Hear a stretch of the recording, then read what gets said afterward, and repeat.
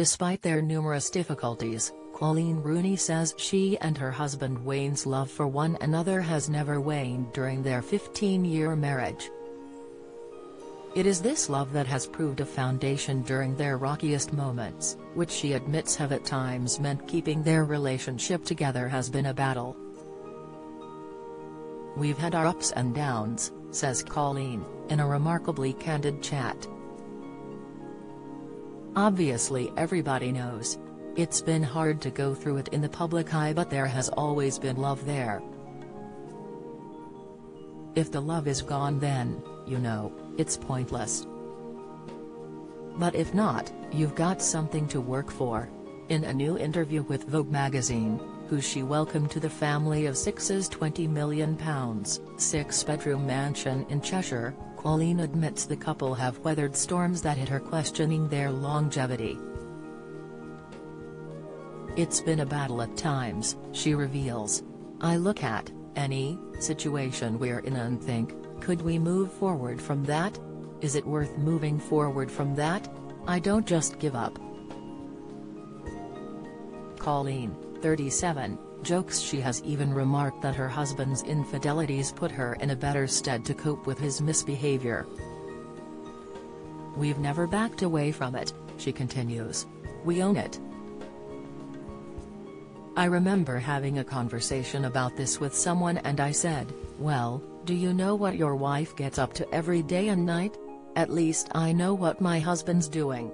It mightn't be good, but I know. People lie to themselves. Coleen and Wayne, 37, were living on Liverpool's Croxteth estate when they first met, at the age of 12. They were dating by the time they were 16, and wed at 22. But they have been dogged by reports of Wayne's misdemeanors from when he was still in his teens, when he first apologized for visiting brothels. After becoming a father for the first time, he paid two prostitutes for a threesome. 1. Helen Wood, went on to win a series of Big Brother in 2014. Wayne is said to have regretted his infidelity immediately. In 2017, he was arrested for drink driving in the company of another woman, while Coleen was pregnant with their fourth child, Cass. He received a two-year driving ban and 100 hours unpaid work after pleading guilty to the stupid mistake. In 2018, the family moved to Washington, D.C. when Wayne signed for to D.C. United, for whom he is now head coach. But in December that year, he was arrested for being intoxicated on a flight.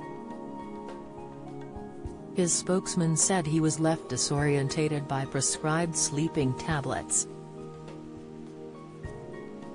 The couple have a close-knit circle of friends and are both extremely close to their families, to whom they turned for support during last year's blockbuster Wagatha Christie trial between Coleen and Rebekah Vardy.